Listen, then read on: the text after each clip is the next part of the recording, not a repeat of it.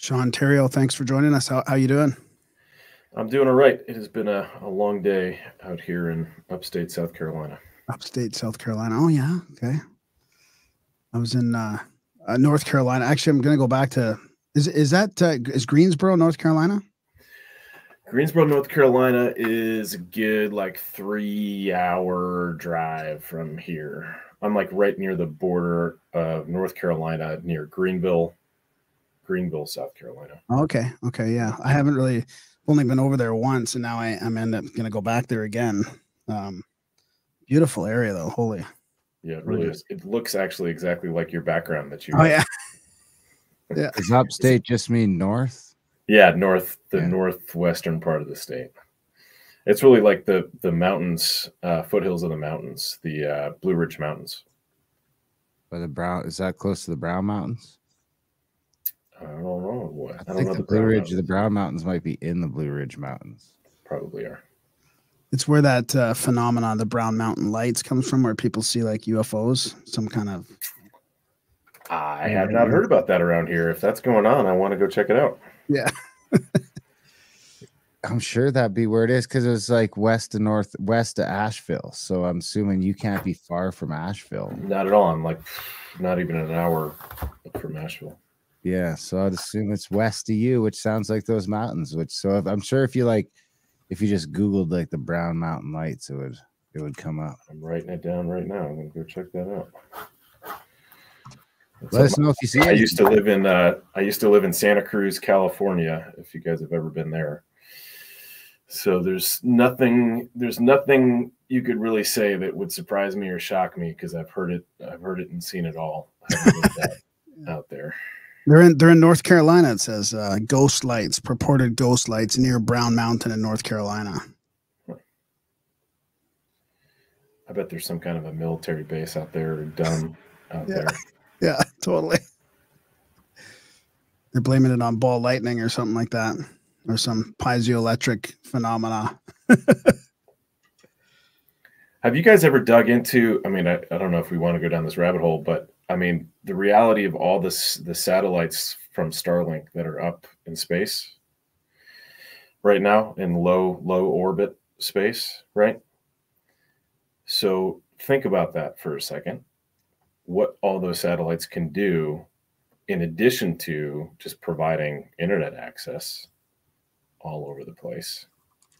What else could that many low orbit satellites do? Everything. Everything, man. Like Project Bluebeam. Have you, heard of Project? I know you guys probably yeah. know oh, Project oh, yeah. Bluebeam. Yeah. Like I'm just waiting for the alien, the faux alien invasion to begin. I know. Yeah. I mean, they've tested it. You've seen those fake cities in the sky in China. There's been all kinds of crazy religious stuff, like you know, apparitions. I mean, they can they can pretty much, I think, put a hologram out there and that's you know the thing we've talked about with Bluebeam is that it might not even be such an obvious uh, kind of physical sighting as much as like a destruction of a major city that they just blame on it, right? I mean, I think they've learned through COVID that they can pretty much do what they want and tell the majority of the people what they what they want and people will believe them. I mean, of course, there's probably a bigger percentage now, maybe 30 or 40% that won't believe them right away, but there's still a good core, 40, 50% that'll believe whatever they say on the TV. Yeah. Yep, the directed energy weapons that are melting entire communities and cities, and they're like, "Oh, it was a fire." It's like, yeah. no, no, fires don't melt metal like this. Yeah. But so, do you want to start? Do you want to get into uh, maybe some of the ways you've been canceled, or I, I definitely want to make sure we get into your, um, you know, your your digital privacy boot camp stuff, um, your Mark thirty seven in the first half. You know. Um, you want to start off with that and then we can sort of dig into some of the the past or? Sure i mean it's it's the same as most people who have been kicked off of instagram or facebook or for me i got kicked off of linkedin. That was really where i spent most of my time. Was trying to wake people up on linkedin and they kept pushing out narratives on linkedin of all things which is supposed to be a business platform so I would just counter and I would ask questions. And I had 10,000 followers on LinkedIn. Um, and I was just asking questions and being direct. And Uh, you know, simple things like, well, what was the president of Ukraine before he became the president of Ukraine? Um, you know, simple things like that. What, what, other genocides are going on in the world right now outside of uh, what's going on in in the Ukraine? Uh, what about the Uyghurs? What about Yemen? What about you know what's going on in Africa? I would just ask questions like this, and they one day I, I tried to log in in April of 22, and I couldn't log in. They refused to lo- let me log in, and not only that, I started calling my friends up, and they I said just see what you can find on me. They literally purged everything. I had numerous articles. I was constantly commenting and whatnot. Everything that I was ever associated with was removed, just disappeared. Wow. So even your your past comments and stuff were gone too? Yeah. Yep. Oh, shit. Everything gone. So they're just wiping the past. They're just oh my god, they're just changing history really. Yeah, they made me disappear from the platform entirely. Uh, so that was interesting. I mean, it was not entirely unexpected. I mean, when you realize that Microsoft is a major owner of LinkedIn and has been, and look at the board of the company and look at what the leadership looks like over there. I mean, it's not complicated. You follow the money, you figure out who has ownership, you look at the ethos of the people that have ownership, and you understand how they're going to act and react. And all these big tech companies are in collusion with one another. They share information on a regular basis with one another. And I had been kicked off of Instagram for just asking questions about the JFK assassination, of all things. Yeah, like, this is weird. Um, and I never really spent much time on Facebook. So when I got kicked off of Instagram and got booted off of Facebook, I really didn't give a crap. But the uh, LinkedIn one for me was huge because I had a massive following, and my business in tech as a consultant in that space really got killed. And so I had people calling me up saying, "Why would you get off of Facebook or why would you get off of LinkedIn?" And I was like, "It wasn't me, man." Um, so I basically set up a Substack account and started creating my own my own content and pushing my own stuff out. Um, Are you worried about that? I mean, I, I heard you mention something about your dot. You put dossiers up there, and and something happened. Yeah, and Substack of all places was supposed to be this bastion of free speech. Um, we have a company called Intelligence on Demand. If you go to intelod.net, uh, you can see what's up there now. But originally it was up on Substack because it was super quick and easy for us to push all these dossiers that we had done. We had over 40 um, reports that we were generating about companies, technology companies, and people and organizations, uh, primarily because we wanted to scratch our own itch on a couple of these people and do some digging and figure out if they were really legit or just grifters. Uh, trying to you know throw patriot in front of their name or their product and try to get business so we put that up on substack and we, literally within a week uh, we were taken down told we had violated their terms of service they never showed us or explained to us what or how we reached out to them numerous times email phone calls messages no response nothing uh, was it just that post that was taken down, or was it your? It was account? the entire site. It was our entire Substack that was. So then you had to go and create another one. So now you've got a different one that just has your sort of bio and stuff on there. Or? Yeah. So truthinlove.substack.com has the articles that I've written over the years. I've okay. migrated most of that stuff over to our website, mark37.com. If you go to the blog section there, uh, most of my articles have moved over there. But uh, so can you give us an example of some of the stuff you were like, let's say you're so you're kind of deconstructing like people, new people in the freedom movement, even or or or or more sort of more about big tech and and what's going on with some of the the follow the follow the money type stuff. Both both of that. Both. Yeah. Um, so you know the the ones the big ones that we had out uh, were Melaleuca. Have you guys heard of Melaleuca? I don't think I, I think some people used to sell that shit door to door. Isn't that like Avon? Yeah, so there's supposed to be like homeopathic, natural um, products for your home and medicines and whatnot. Uh, there, what triggered me on it was, or made me interested in it, is I had a whole bunch of folks that I know who started pushing this thing called Patriot Switch. Have you heard of Patriot Switch? No. No, but So- my ex-wife was gonna get into selling that Melaleuca at a time, and I was like, "Oh, this is just a pyramid scheme. We're not. You're not doing this." So yeah, so Patriot Switch came out and we're like, oh, this is interesting. You know, they're trying to be an alternative to all the crap you could buy from Walmart or Amazon. Um, this is interesting. This might be something that we want to get into. So I started digging into it and realized that Patriot Switch was just a a brand, uh, a front-facing brand within Melaleuca that someone had started. And so I was like, okay, that's not too big. I mean, any sales organization is a pyramid scheme at the end of the day, if you really look at it. Um, so that doesn't really frighten me or scare me off from it. I was like, well, let's look at Melaleuca. And most of the folks that I knew that were pushing Patriot Switch were like super hardcore MAGA, you know, Trump supporters. But when you look at Melaleuca and you look at the owner and founder of Melaleuca, the dude was like a vehement anti-Trumper, vehement, supporting most of the Republican establishment uh, players like Cheney and others. Um, and so I just started asking questions and I kept digging and I was like, well, that's weird.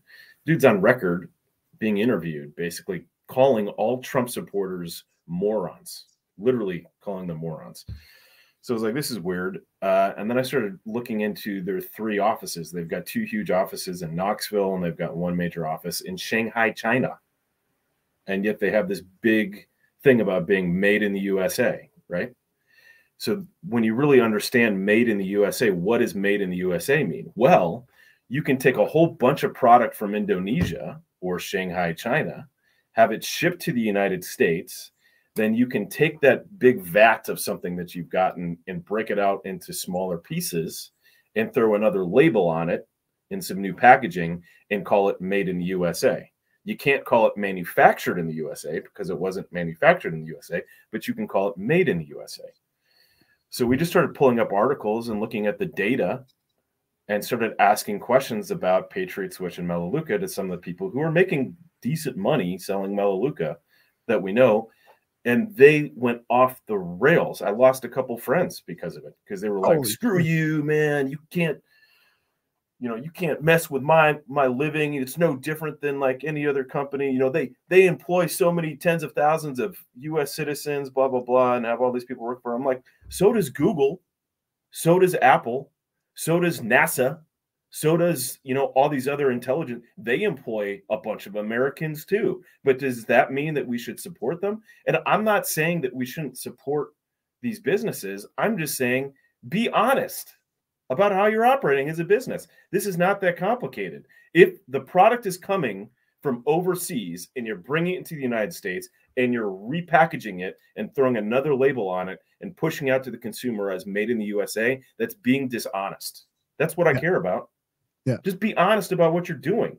And if you're not doing that, then it's not hard for you to prove that you're not doing that and just show the data push it out there so that people know. So it's stuff like that that just drives me crazy.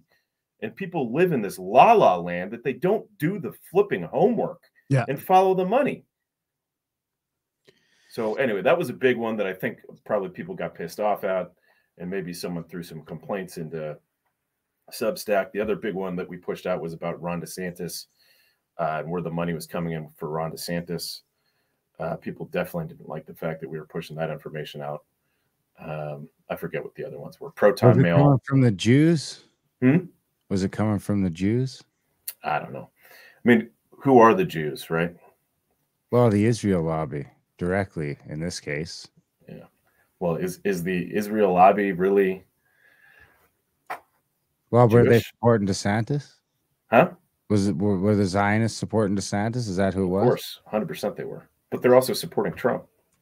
I mean, Well, yeah, of course they are. They That's why support the first thing everybody. He has to do is go put his hand on the wall, just like everyone else. yeah. I So what, what? So did you did you get into the money behind Substack or anything like that? I mean, is there anything we should know about? Because we got my my head has been down honestly over the last year and a half. Just try to be focused on trying to migrate as many people as possible off of Google and Apple and Microsoft and Amazon. yeah, those are the four big ones, right? For you, Yeah. really? Yeah. Yeah, you add Facebook in the mix there too, and between those five companies, they generate over one trillion dollars annually. annually. Those five companies make over a trillion dollars a year collectively, and they spend annually tens of billions of dollars on candidates, causes, and organizations that are literally directly trying to kill us right now. Not like make our life harder, they're literally trying to kill us, these companies and organizations.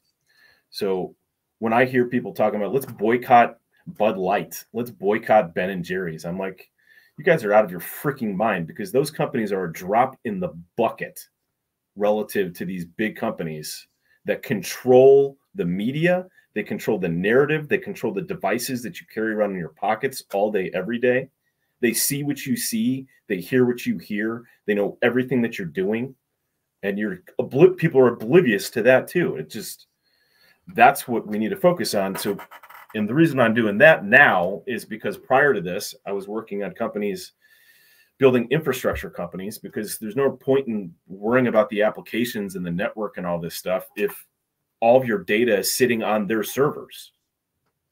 If all of our stuff is sitting on Google servers, like your your show, right? That's sitting on YouTube, right? Which means it's sitting on Google servers. They can just go in and start turning you off whenever they want. So if you don't own and control the infrastructure layer and have that locked down and have people that are willing to fight to the death to defend your rights, First Amendment, Second Amendment, all of your amendments, right? Your constitutional rights, then they can instantly just come in and make you disappear. So I knew from day one that we had to get that problem set solved for. Once that got solved for, I'm an entrepreneur at the end of the day. I moved on to the next major problem set, which is these things that we carry around in our pockets. Yeah. So to that end, let me ask you guys: if so, we're at war right now, right? I agree. Foreign and domestic. I agree, hundred percent. Yeah. Right. So if we're at war and I give you a weapon, and I say, just so you know, that weapon that I just gave you has a GPS tracking device on it. It has a camera. It has a microphone. Uh, and the enemy, all that information is being fed to the enemy. And in addition to that, the enemy can actually get into that weapon and turn it off right before you think you want to use it, right, to do some serious damage. They can just turn it off. Would you use that thing? Uh, it depends on how addicted I am to it, I guess. I mean, I, I, dude, we tried the Google. I, I, mean, it's great to have you on and talk about this because we can get into some details here about it. But, yeah. um, you know, Darren's got us set up with our own servers too. So we are, we don't, we do have some like we've we've gone, you know, we, we do have a separate infrastructure for our podcast, for our audio, all that, all that. We do have a separate separate thing set up. And uh, you know, we tried the Google, we tried the No Agenda phone. I don't know if you're familiar with No Agenda, the podcast. It would really fit in well with what you're working on. They have like a whole No Agenda phone thing. So it's that whole, you know, the phones that are sort of off the grid. And um, I tried the the Pixel Six with the with the I what was it? What was it again, Darren? The uh, maybe graphene. Yeah. Yep. And I just, man, I just couldn't. uh Actually, to be honest with you, part of the problem was that the phone itself had a, a malfunctioning uh, screen. Like it wasn't, it wasn't a, uh, it wasn't working properly. Well, that would be a big reason, man. That's, that me giving that would, you a gun and saying I pull the trigger, but only once only out of ten every, times I pull the trigger, it's going to work. You wouldn't yeah, use it. Exactly. Yeah. Yeah. Exactly. It was like it, seven out of ten times it would work type thing. Yeah. And uh, so that was a bit frustrating. But also, I had a hard time getting off of Apple. Man, it, it was really hard. It, it is. But so I'm you know, I totally agree with you. I just I just have to do more work, you know, on my own to to realize how important it is to get off it or or you know to do something about it because I just I'm, I'm going to give you, know. some analogies, man. This is literally no different than this. This is like you saying, do we agree that Google and Apple and Microsoft and these companies are evil companies doing evil yeah. things? Yes, yeah. right. Yeah. So this is like you telling me how evil Pfizer is.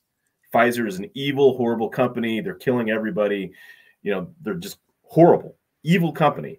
But hold on, eh, give me 30 minutes. I got to go get my booster shot. Well, no, no, no, because it's a little more indirect, right? It's, it's, I know what you're saying. It's a good, it is a, a good analogy, but it's hard because it's, it's really, you know, it, there is going to come a time when they can just hunt me down, but it, it's, it's just hard to, you know, there's that faint hope that it's really not going to come to that. You know, we're going to fight, but it's really not going to come to them using your phone to come and kill you. Yeah, like, but it's more than that. It's so much more than that. So, first of all, the obstacle is the way, we need to get used to doing the hard things. That's why we live in the world that we live in today because people have become so addicted to convenience.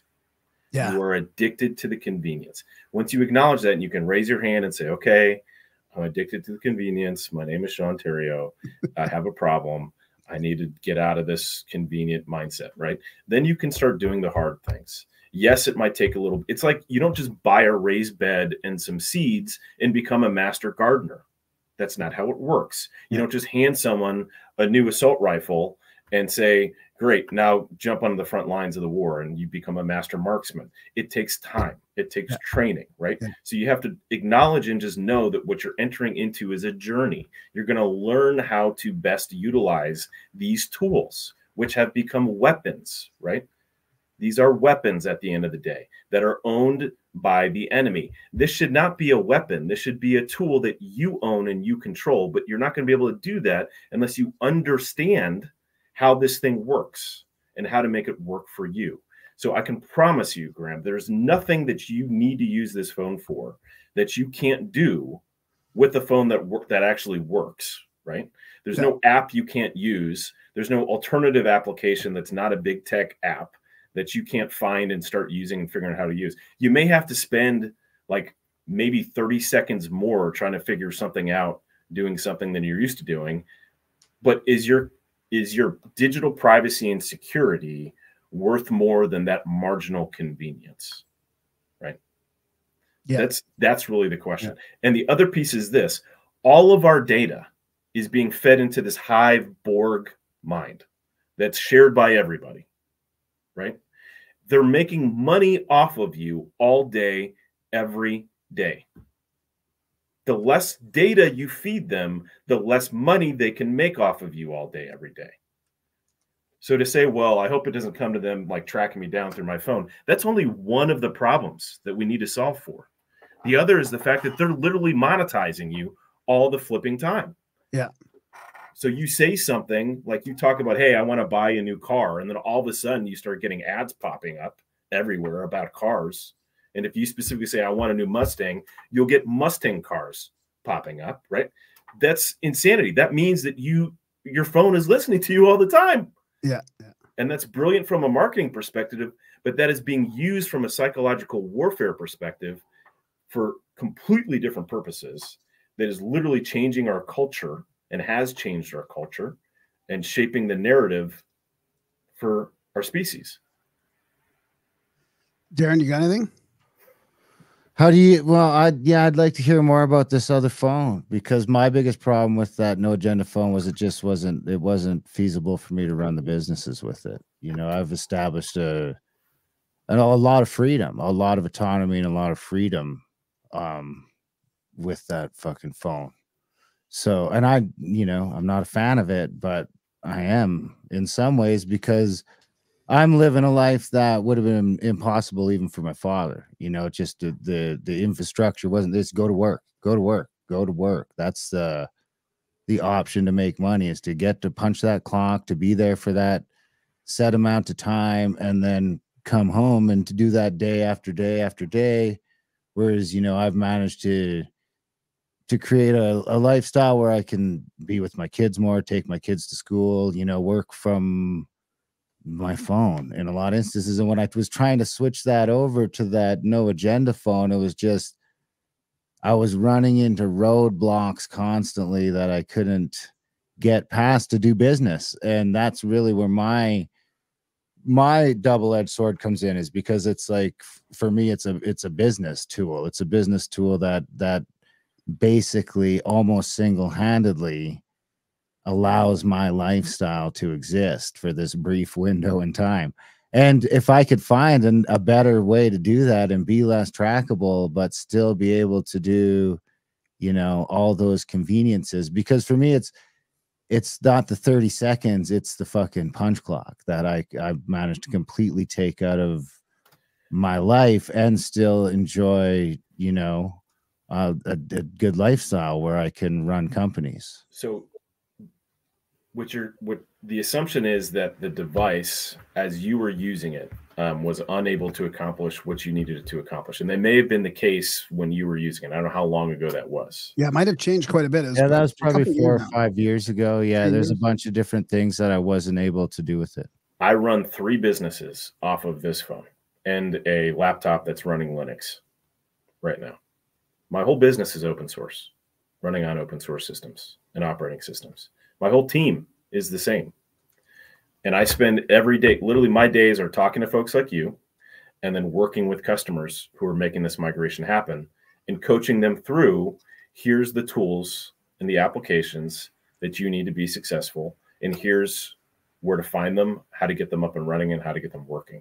Helping. How do I reconcile that with like all of my business coming from Amazon and Spotify and YouTube and these sort of companies? I mean, not for this show. This show is this this business is a direct to consumer show, so all of our money is comes from our members and stuff like that. But some of our other businesses, just to the nature of the industry, you're like you know that's you you're, know you're, if you're doing audiobooks there's two places to sell them period i mean you can pretend you're selling them other places but you know you're not so i'm not saying that you don't still log into your amazon account and you don't still try to sell your stuff through amazon for as long as you can as they allow you to right but there's other this is I, I just had this conversation with someone who has a coffee shop in kentucky and she has her business on Facebook.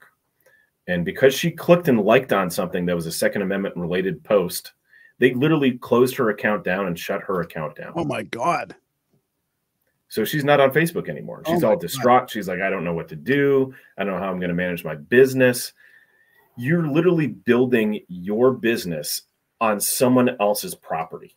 Well, we're not definitely not doing that. We uh, we're not doing that. Our business is all over every place, open source and otherwise. We have our own servers for every podcast we put out. Yeah, but you were just telling me about Amazon. Well, yeah, we blah, blah, blah. because we sell our books every place else. We sell our books off of our own servers. We sell our books, you know, direct to consumer. Great. And we sell our books on Amazon and Spotify. And ninety nine percent of doing that. Keep doing that from Amazon and Spotify. So that's kind of when I say you can you can sell them other places, but you're not selling them. You know, it's one in every thousand sales comes from someplace other than Amazon or Spotify, unfortunately. So I guess my point was this with the whole Facebook uh, coffee shop lady. I asked her point blank, "Do you have a database of your customers?" And she said, "I don't." I was like, "That's the most fundamental like 101 lesson you need to relearn. Instead of depending on Facebook to manage all that for you, you need to start managing that. She's like, well, I don't know where to do that. There's so many different tools that are available that you can use to manage your customer base and proactively reach out to your customer base that's not owned by Facebook. That's yeah. not owned by TikTok. That's not owned by Instagram. That's not owned by these other companies. If you want to continue to use those tools, go for it. You can still have Facebook on your phone. You can still have that app on your phone if you want to have it on your phone. You can still do that. But that's like me literally giving you a firearm, training you on how to use the thing, and then you taking the thing and instantly pointing it at your leg and shooting your leg. Right? I can't prevent you from shooting yourself. I can train you on all the smart ways to use this thing, but you can still shoot yourself in the leg. So what these phones and these devices do is they re they give you control of the device so that it's not doing anything on the back end that you haven't given it express permissions to do. So if you download Facebook and, and you click the I agree to the terms of service, it's not just instantly going to get access to everything on that device. You have to give it permission. It's going to say, I want access to your GPS, your contacts, your this, your that, your whatever. And you say, Yep, yep, nope, nope, nope. And if you click something that says no, and it says, well, I'm not going to work for you unless you give me these permissions, and it really doesn't need those permissions, you then have to ask yourself, do I really need this application on my device? Or is there another way that I can access this? Can I use my laptop? Can I use my browser to do this? Do I have to use my phone? Do I have to have TikTok on my phone? Or can I use my browser on my laptop to use that application. Can I apply this to any phone? Graphene OS right now only works, and it's hands down the most private and secure open source mobile operating system available in the market is only working on Pixel phones right now. I have a I have I actually am still using uh no agenda phone. I still I don't know where the phone is. It's around here somewhere, but it still has graphene on it. Um, you should update it. Update it. Um, and let's have a conversation. I so on my site you can sign up for. I mean, for you, I'll spend however much time is needed, man. But I have people signing up for free 15 minute digital privacy consultations all the time, and this is what I do with people. I have this very conversation. yeah, yeah.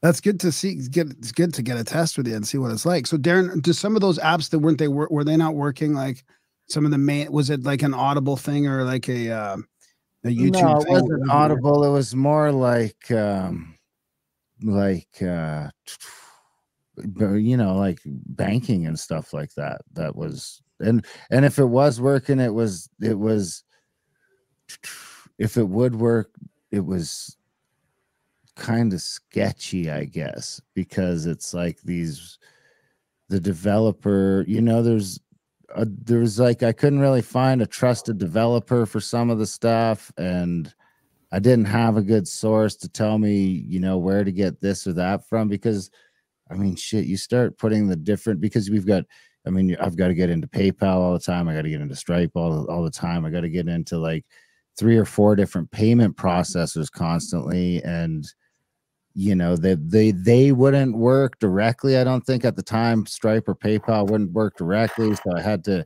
go yeah. through this other like box or something and i'm like well shit man this is like this is everything. If someone gets access to the paypal we're we're we're in real trouble fast. So i'm like i'm i just had to pull back from that. And then i got into the point where i was trying to just okay well i can do that when i can do that when i get home. And but you know convenience sneaks in where it's like you know how you know well i guess you're doing a better job obviously and than i am in some of those regards. But when when my phone's blowing up from a customer that wants something now it just there becomes somewhere an excuse along the line that i'm just all right well fuck it. Where's my fucking iphone?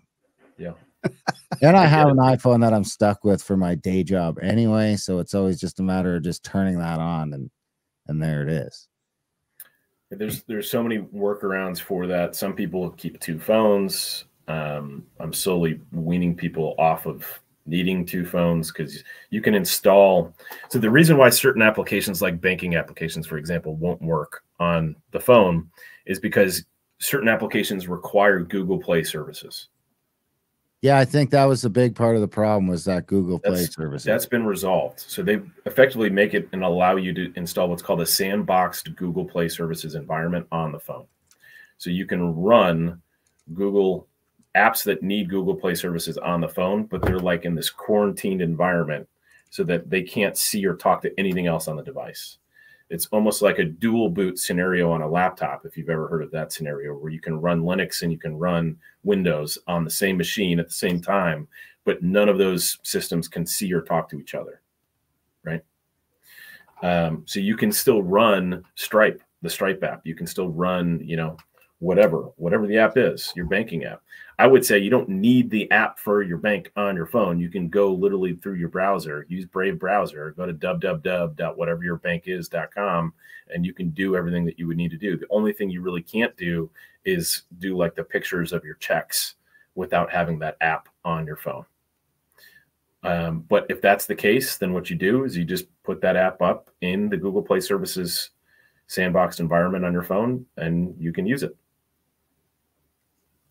So the key is getting that operating system is so key because we, we can use all kinds of encryption to prevent a middleman person from taking that data and understanding what that data is. But it's literally rendered useless if I can see what you see on your side of the device, which you can if you're running an iOS, a Windows, Google Android, Mac OS. If you're running those environments, people can hack in and see what you see and hear what you hear, which renders that encryption pointless and useless. That's like using an encrypted email service and then sending an email to someone who has a Gmail account and thinking that that email you just sent is not going to be seen by Google. Well, by the very fact that you sent it to the Gmail account, it's now stored on, on Google servers. I, I ran a Linux computer for a long time and I ran into um, troubles finding digital audio workshops and stuff like that. Has that sort of stuff been resolved now? Is there good Yes. uh, did audio and video editing? There's some super powerful stuff. I mean, short answer is yes. Short answer is yes. I can walk you through all kinds of fun stuff that's come up. I mean, there are so many pissed off libertarian, um, you know, uh, just people who don't trust our government and don't trust big tech people, geeks across the country and around the world that have been working nonstop on developing these tools so that they're not involved in our daily life. My whole job is just to be an aggregator of all the coolest stuff and the best stuff that's out there that allows people to live digitally private sovereign lives and then pushing it out to those people so that they can use these tools to get off of big tech systems Do you think the phone is enough? Like if I if I'm keeping my my MacBook in my office all the time and I'm only turning it on to record the show that is, you know, being broadcast anyway and then being uploaded to the internet anyway and then leaving that computer, you know, shut off in this room other than that is the phone the real weak point if I can, you know, keep that computer office sort of shut off when I'm not using it? I would say you should make it a goal to eventually migrate everything off, but start with the phone. Get comfortable with the phone to the point where you're like, oh, this really isn't as complicated as I thought it was going to be. And then when you make that leap to the laptop, you'll have that same experience. For me, it's a silly thing. It's the it's honestly the trackpad. I've tried like five different um laptops and I just can't find uh, anything with that with the trackpad that compares to. And I even tried hacking the Apple trackpad into a different system and it lo- like weirdly loses some of the fucking capabilities just enough to drive me nuts on my like workflow for editing. But I've tried, you know, I've I want to be a Linux. I had the hack book or whatever they used to call it, where I like hacked up this MacBook and turned it into something else. But you know, I, I kind of fell out of practice with that. When we first first started the show, I was doing a ton of that Linux stuff. Yeah, Linux has come a long way, especially over the last couple years. So much so that people who like are just technical noobs that just don't, you know, they call themselves, I'm just not technically, you know, literate. Um, you know, my dad, who just turned 77, um, is using a Linux laptop and he is technically illiterate and he doesn't even know the wiser. We even have customers who will literally take the laptop of their spouse, send it to us, we'll load Linux on it, and we'll send it back to them and we'll set the environment up and their their files back on the thing, make it look exactly like it was before, and their spouse has no idea that anything has even changed. so it's it's become the the user experience has become so simple and so easy. There's now you don't have to learn how to script or code anything anymore. Um, I would look up Linux Mint Cinnamon edition. I would look up Zorin is like the super basic one that we put on most laptops for people. Can uh, you do Pop? OS is another really good one. Huh? Can you do the Mac? the Mac Yeah. computers now? They Yes. do- They're a little bit more difficult because you have to find like these custom drivers, and there's only certain Linux um, editions that will run and work on on MacBooks. Uh, but we just did a MacBook Air for someone. That was my problem. You know, I don't think I ever did get the sound working on that thing. I could never get the sound to fucking work. I just couldn't. Understandable, man. That was totally the case. I would say four, five, six years ago. It's it's come a long way, long way. You know, there's a yin and a yang to everything, right? As the tyranny is being pressed harder and harder and harder, there's a pushback that's coming as well, and people are innovating and being creative and finding loopholes and workarounds and different systems and different tools to be able to not have to deal with the BS and the crap that they're trying to shove down our throats. So um, for me, it's it's exciting times. I literally, you know, I was in Silicon Valley from '98 until 2016, so I was there for the end of the boom and the bust and the boom and the bust and the boom and the bust.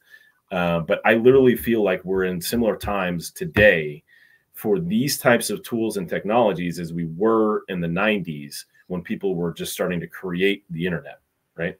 Wow. Um, there's so many new, innovative, cool things that are coming out that there's no legislation that's going to be able to be passed because the people who are creating legislation are they're morons. It's their staffers that literally do everything, and it's the special interest groups that just tell that write the legislation and then pay off the individuals and or you know take the staffers to strip clubs and dinners and whatever to get them in their pocket or put them in compromising situations so they say look if you don't do this, we're going to really screw you. Um, they're morons. They have no idea what they're doing. So it's not a matter of legislation that's going to prevent us from doing what we're doing. It's a matter of the big infrastructure companies that control and own the internet uh, who are going to try to turn us off. But there's there's the catch 22 there. They can't do that to billions of people because then they lose their revenue stream, right?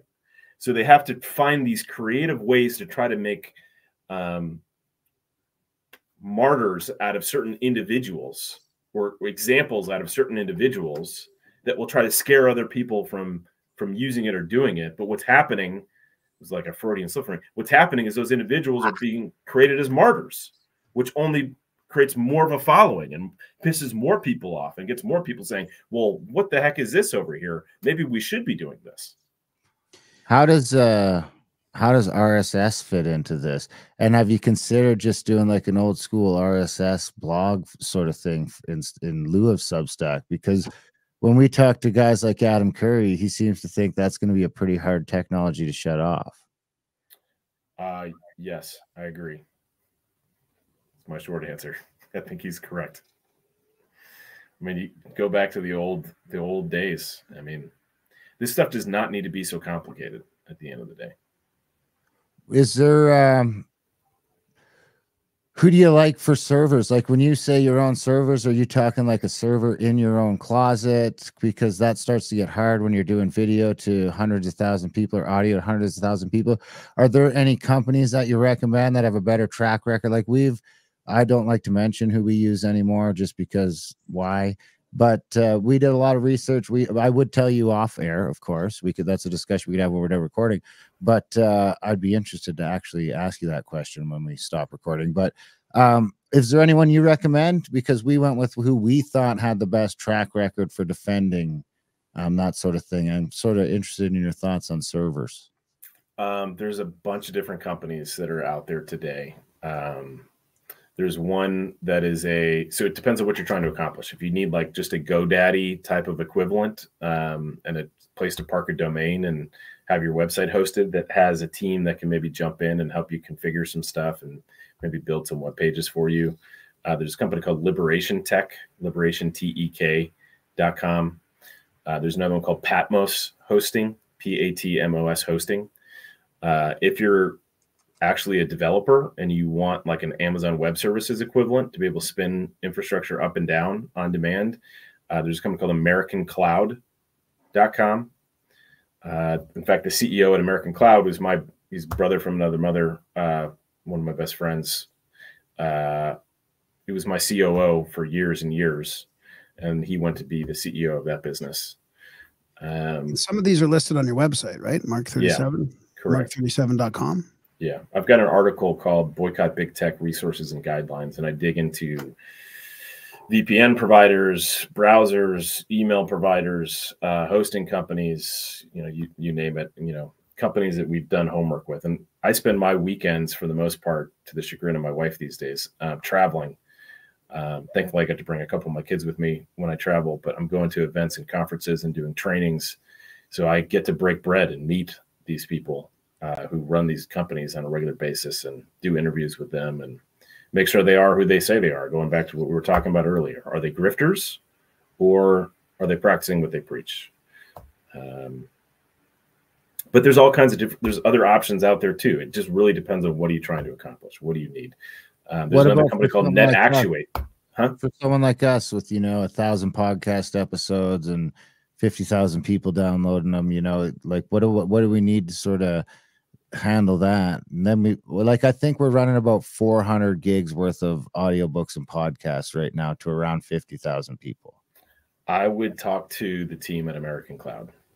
Okay. They get you set up because they own they own the data center, they own the servers, they own their network. They've got a distributed network. Um, they can sell you bare metal if you, that's all you need. Um, they can they can basically if you know exactly what it is that you're wanting. They'll just configure it, set it up for you, and let you go. And then if you have issues and problems down the road, they can also serve as like a sysadmin team on the back end for you. Is there any countries that are better than others? to be to be hosted in if you're doing that sort of thing? Like, are these U.S. based or are they are they overseas? Or are they uh, because the Patriot Act is kind of scary in America. It's scary everywhere. Yeah, yeah, it is scary everywhere. But you know, for some reason, some people seem to think that that America has some some despite its free speech laws, ironically has some some ways to get at data that other countries might not share. Uh, I couldn't speak to the specifics of that. You know, I'm just sort of paraphrasing some things I've heard, but uh, I know some other people that run some pretty big shows that in the U.S. with like an 80% U.S. market, and they're not hosting in the U.S. So that's an interesting. There's an echo that just picked up all of a sudden. I think the feds just started tapping into the, the call here. Um, with that question, due to Five Eyes, I mean, you guys know what Five Eyes is, right? Yeah. So all the different intel agencies for the major, you know, players around the world who share data with each other via Five Eyes, it does not matter where your data is hosted. And this is what we learned when we started digging into Proton Mail. I don't know if you guys have heard of Proton Mail. No, but I, I was actually going to ask about that. Yeah. yeah. There's supposed to be this bastion of free speech and, and encryption and whatnot. When you start digging into Proton Mail, you start to realize, well, why are they called Proton Mail in the first place? Well, it's because the executive team came out of CERN which is interesting. Follow the money and the players at CERN, and you realize that these people are complete freaking whack jobs. You know, I would say they're Luciferian whack jobs. Um, okay, so there's that. Well,